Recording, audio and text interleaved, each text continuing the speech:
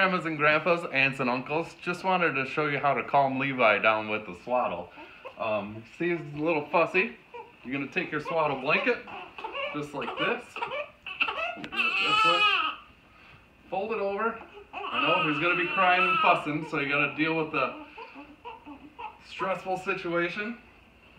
Just lay her down just like this. Insert the baby onto the swaddle cloth. I like to insert them where it's longest right there. You're gonna take one side. It is Taco Tuesday, by the way. So wrap them up just like a taco. Go over the arm, under the armpit. You're gonna grab the longest part, go over, and then wrap them around like this, nice and snug. Oh, look at that.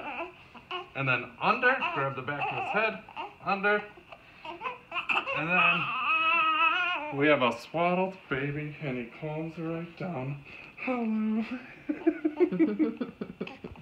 yeah.